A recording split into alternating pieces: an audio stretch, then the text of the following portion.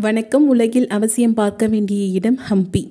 இந்திய மண்ணின் சிற்பக்கலையையும் கட்டடக்கலையையும் வெளிநாட்டினர் ஆச்சரியத்துடன் பார்க்கிறார்கள். ஆயிரம் ஆண்டுகளை கடந்தாலும் இன்று வரை அஜந்தா எல்லோரா முதல் தஞ்சை பெரிய கோயில் வரை அவர்களின் ஆச்சரியத்திற்கு சான்றாக உள்ளன. அதில் கலை சின்னமும் சுற்றுலா தலமுமான ஹம்பியும் ஒன்று.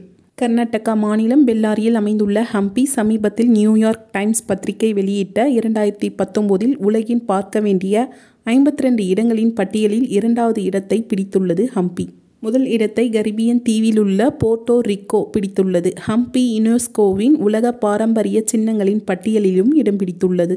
பெல்லாரி மாவட்டத்துக்கு ஆண்டுதோறும் லட்சக்கணக்கான சுற்றுலா பயணிகள் வந்து செல்வார்கள். Lotus Palace Queen's Lake Navabrindavanam Ramar வாலியை வதம் செய்த இடம் போன்ற பல்வேறு சுற்றுலா தலங்களும் பிரசித்தி பெற்ற திருத்தலங்களும் அங்கு அமைந்துள்ளன. அவற்றுள் அவசியம் பார்க்க வேண்டிய ஒரு வரலாற்று சிறப்புமிக்க இடம்தான் ஹம்பி. பதினாலாம் நூற்றாண்டின் தென்னிந்தியாவை ஆண்ட விசயநகர பேரரசின் தலைநகரமாக ஹம்பி திகழ்ந்தது.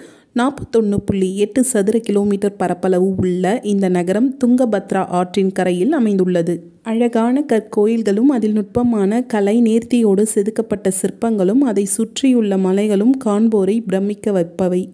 பல படையெடுப்புகளை கண்டுள்ள ஹம்பி அத்தனைக்கும் பிறகும் சிற்பங்கள் சிதிலமடைந்த போதும் அதன் அழகும் கலைநுட்பமும் இன்றும் வியப்பை அளிப்பவை. ஹம்பியை கோபுரம் இல்லாத கோயில் என்று சிலர் கூறுவர். விசயநகர பேரரசின் ஆட்சி காலத்தில் சிறப்பாக திட்டமிட்டு கலை அழகியலோடு உருவாக்கப்பட்டது இந்த நகரம். இங்குள்ள கல் தேர் இதன் சிறப்புமிக்க அடையாளம். சிற்பங்கள் உருவாக்கப்பட்ட கல் தனித்துவம் வாய்ந்தது என்பர். அவற்றின் மேல் சிற்பங்கள் செதுக்கப்படும் சிற்பங்களின் வடிவத்தை குறிப்பிட்ட நாழிகைக்குள் திருத்திக் கொள்ளவும் இயலக்கூடும். அப்படிப்பட்ட கற்களினாலேயே இங்குள்ள சிற்பங்கள் உருவாக்கப்பட்டுள்ளது என்கின்றனர் ஆய்வாளர்கள். இந்தியாவில் அதிக சுற்றுலா பயணிகளை ஈர்க்கும் இடங்களின் பட்டியலில் ஹம்பி தொடர்ந்து முதல் ஐந்து இடங்களில் உள்ளது. இரண்டாயிரத்தி பதினாலாம் ஆண்டில் கூகுளில் அதிகம் தேடப்பட்ட கர்நாடகா வரலாற்று சிறப்புடைய இடங்களில் முதல் இடத்தை பிடித்தது. இங்கே கூடை கூடையாக திராட்சைகள் மலிவாக கிடைக்கின்றன. இந்த நகருக்கு செல்லும் வழியில் இயங்கி வரும் உணவகங்களில் காரத்துக்காக பச்சை மிளகாயை அரைத்து கொடுக்கின்றனர்.